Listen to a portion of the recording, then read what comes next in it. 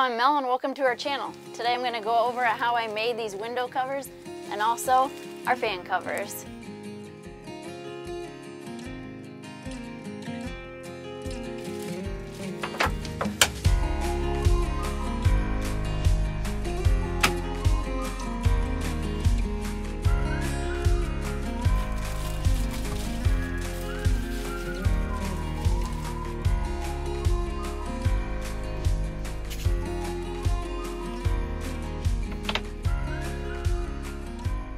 Some of the things we like about these magnetic window covers is that they are able to match our decor, fully customizable to any size window.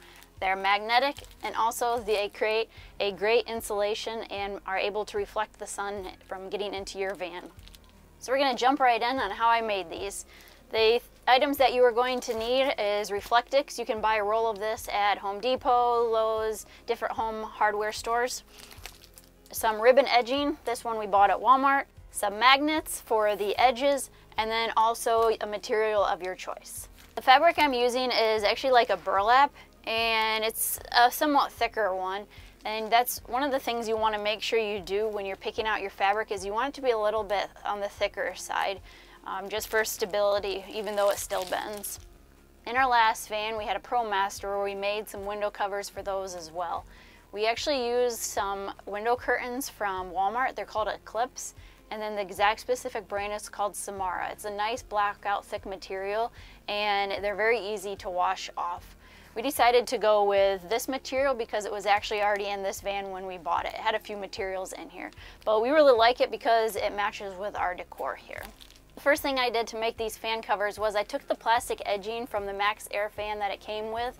I took that and I put it right onto the roll of Reflectix, the stuff here. I then traced around the edge of the fan cover and that's how I got my size that I need. I did this twice since we're doing it for two fan covers. After that I cut it out and then I used that new piece as a template for my fabric. I then used just a permanent marker and traced around the edges of the Reflectix right onto my fabric. When you are tracing, make sure that you trace on the back side not the front side because you don't want any of the markers showing in case you don't cut it completely correctly. So that's just a little tip there is to make sure you trace it on the back side.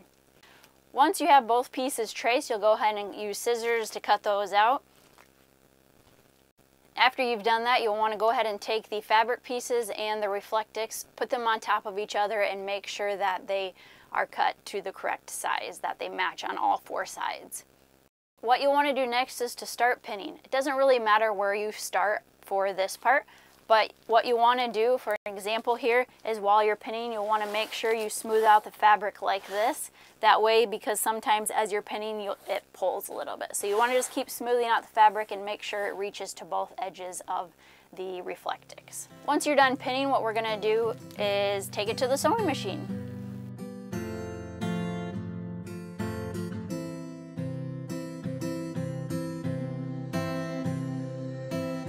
So if you don't have a sewing machine, see if friends or family have them. I know there are sometimes local places that'll rent them out. I've even heard of libraries that do that.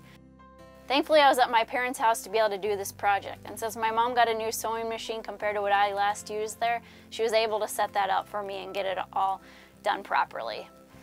Thanks, Mom. Once she had that all set up, I was able to get right to work. Put the Reflectix up when I got started sewing. I don't exactly have a particular reason on why I did that, I just felt it was easier that way. I got started in the middle, and the reason being is because it's a lot easier to start and stop in a straight line versus the edges. When you get started on the side here, you'll want to go forward about an inch, and then you'll go backward to strengthen the seam.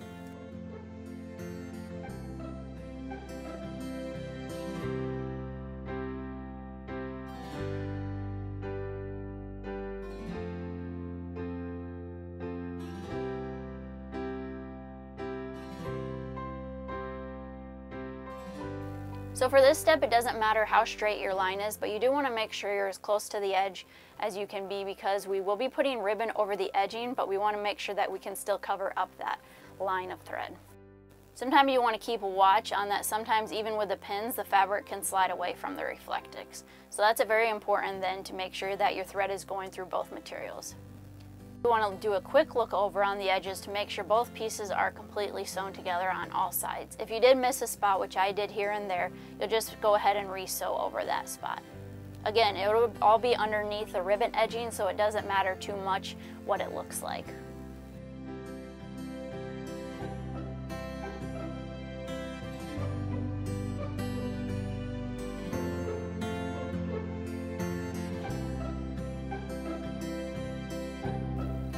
After you've sewn together the Reflectix and the fabric, what you want to do is look around and if some of the excess fabric is hanging off the edge, make sure to trim that down a little bit because when you go to do the ribbon edging, it will cause some issues. So we want to make sure that the Reflectix and fabric are matched along all sides. For these covers, we're making them magnetic. We have used Velcro in the past where we sewed it right along the ribbon edging and then we put the sticky to the window, but what happened was that the sun melted the stickiness on the backside of the Velcro. So this time we are using magnets to help hold them up against the plastic fan cover. These are heavy duty magnets and they are not super cheap. They're about a dollar per magnet. The ribbon I use for these window covers is the same one as I used in our previous fan. The minimum you're going to want to get is two and a fourth because you need room to go around the edges of the fabric, the Reflectix, and then also for these ones the magnet. It is a big cost difference though when you use magnets compared to the Velcro, but I think it's worth it just because of that loss of stickiness that happened to us in our last van. The other type of magnets I got were these strong slender magnets. We had to be careful though because even though their strength is strong, the magnet itself is very thin and can break. I bought these ones because they come with sticky pieces to be able to attach to the plastic between the ceiling and the fan. What I ended up doing was putting two magnets on one side and then two magnets on the other side. Um, that's just a budget thing. I would say at least do two on each side at the minimum because you want enough to hold this fan cover up to there. So after I got the long slender magnets onto the plastic, I put the smaller magnets on top of them and then marked on the Reflectix part of where they will go.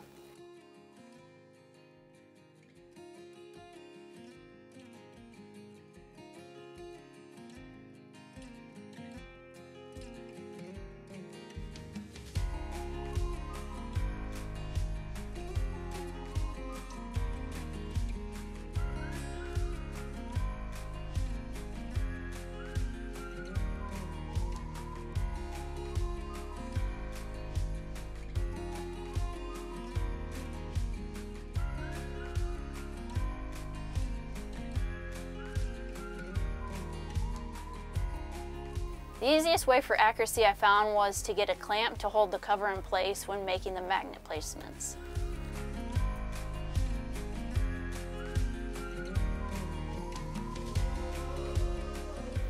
Another tip is I use some masking tape to mark the fan cover and also the plastic edging for the fan so I knew which direction which piece went.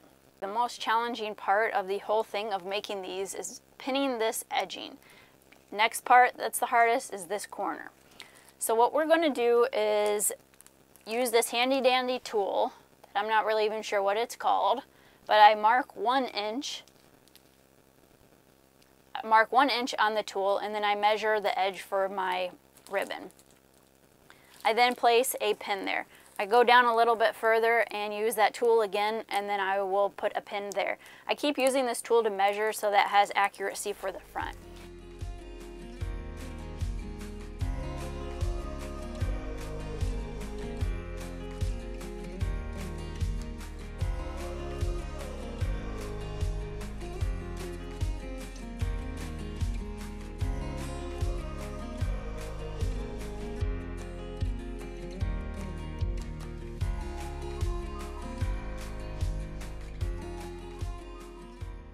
If the back of the ribbon is not straight, that's okay because this is the part you're not really going to see. It's either facing upwards towards the fan or facing outwards towards the window. So when you're inside your van or RV or whatever it is you have, you won't really see this part. So it doesn't matter exactly how that looks. What you want to make sure is that your front looks nice and clean. So when I'm measuring, I kept doing it from the front and making sure it was tight on the back.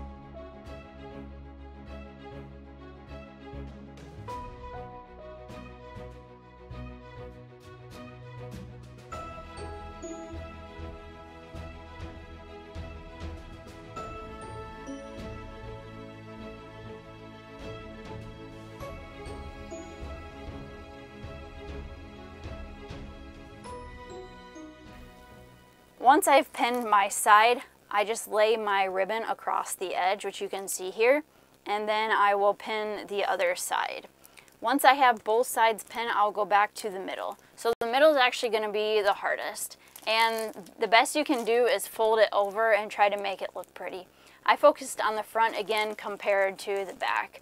The back here I have about three different loop overs and then the front I just have the one.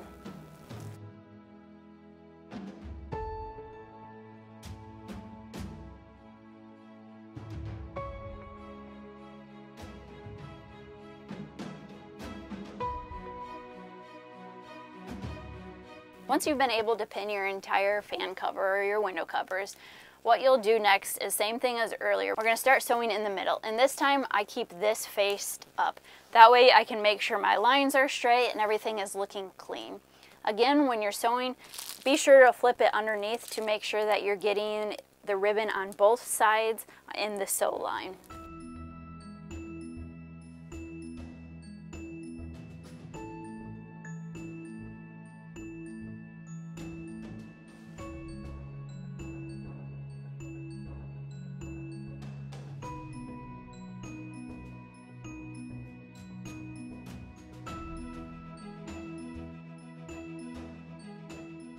So when you're adding the magnets, what you're going to want to do is sew just a little bit past where you need to put the magnet in. And then you're going to lift it up and slide your magnet in. These magnets are small enough that I was able to do that. Again, I'll have the link in the description on what size we used. Then continue sewing along. You'll do this for the two of the sides, depending on how many that you decided to do, but for us we did it on two of the sides. So you'll make sure to put mag two magnets on two of the sides. Make sure they're not the sides touching each other, but on the opposite ends.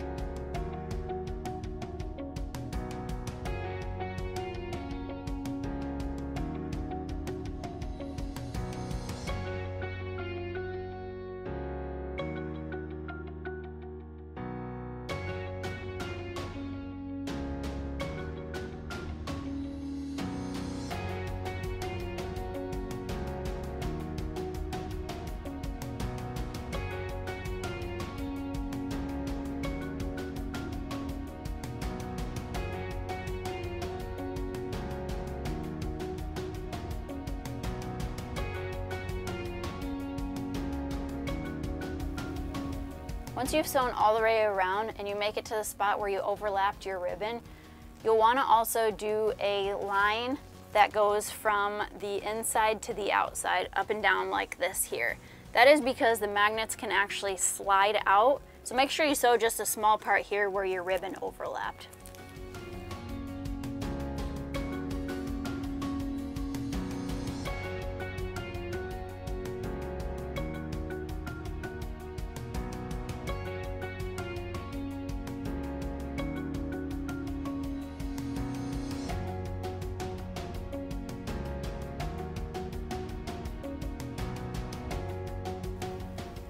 So after you've sewn around all four sides, you'll just want to have a look around and make sure there's no little holes that you missed from trying to sew the ribbon on both sides. I did have to go back in a couple spots and sew those together.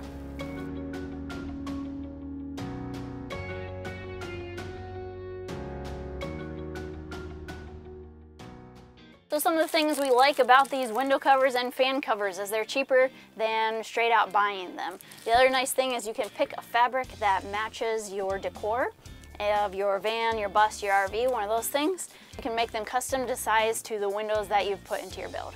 So how long did it take me to make all nine covers? Yes, nine of them. So we got two windows in the back, two side windows, two fans, and then I have three up in the cab area. I'm not a professional sewer, but it took me about three days and about five to eight hours each day to get all nine of them completely finished. some of the things that I would change on this is the magnets can move in between here. So what I would do is just sew a little line on each side of the magnet to keep it straight. It doesn't matter too much if you're putting like this on a window area where there's lots of space to have the magnet adhere to, but when it comes to the fans, there was only certain spots that we put magnets for it to adhere to. The other thing I would change is in the front windshield area, the front one sags a bit. So something that we're thinking about doing is cutting a slit open to be able to throw in something to reinforce the back of it so it doesn't sag as much because it seems to be letting in a little more sunlight and heat than we would like compared if it was flat up against the window. So as of right now, those are the only two things we would change for the DIY window covers that we have made. Thanks for watching. If you have any questions on how to make your own DIY window covers like the ones I've made and shown you today, just put it in the comments below or contact us. And if you have made ones just like this or you made the ones from our video, please let us know below as well. We'd love to hear from you. Please subscribe to our channel if you'd like to see what else we're working on and where else we might explore.